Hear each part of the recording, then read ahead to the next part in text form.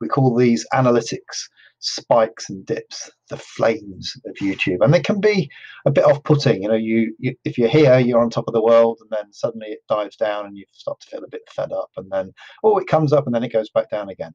But really, this is this is a good thing. The fact that your views go up and down is good because this is YouTube's algorithm experimenting with your videos and showing them to different audiences and seeing whether or not um, they get good traction, whether or not they work.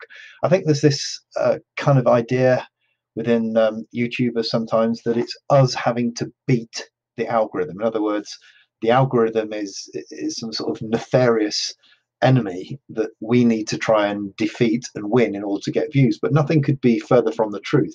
The algorithm is on your side because the algorithm and you both have the same objectives, which is to get your videos out to a wider audience and get you more exposure because um, it's nothing to do with the goodness of their heart.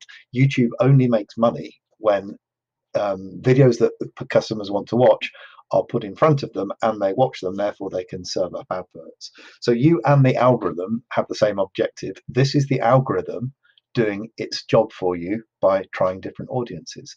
So these flames are natural. If it was a straight line, that's that's more worrying, frankly.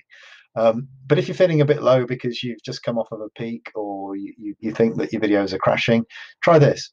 Change the time scale to a, a, a longer time scale. So 365 days, for instance, in my case. Now that is clearly an uptrend. Try squinting your eyes as well if you like. Um, but I had a dip now, and I've noticed today suddenly some of my videos are taking off and it'll suddenly go higher and higher. So be patient. The algorithm is working for you, not against you. Of course, in order to get it really working for you, then you need to produce videos that people want to watch. And in order to do that, you need to know how to interpret the analytics to find clues as to what you're doing right and what you're doing wrong. If you need help with that, all you have to do is give me money.